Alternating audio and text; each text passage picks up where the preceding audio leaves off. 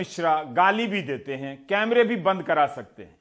इन दोनों कामों के लिए प्रधानमंत्री मोदी के कैबिनेट में अलग से कोई मंत्रालय नहीं है, लेकिन गृह राज्य मंत्री ने अपने काम को आज विस्तार दिया।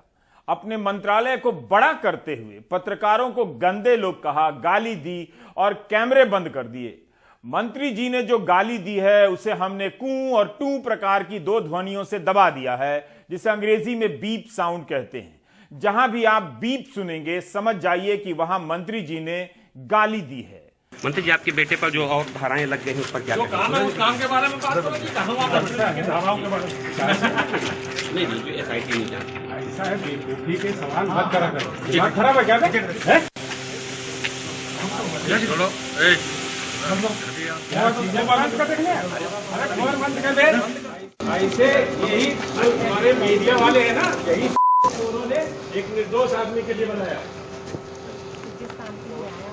शर्म नहीं आती है करना है क्या नहीं करना है ये क्या है मतलब देखिए कितने गंदे लोग क्या क्या जानना वो क्या जानना चाहते हैं हाँ क्या पूछा नहीं नहीं ये एस आई टी से नहीं क्या हैं?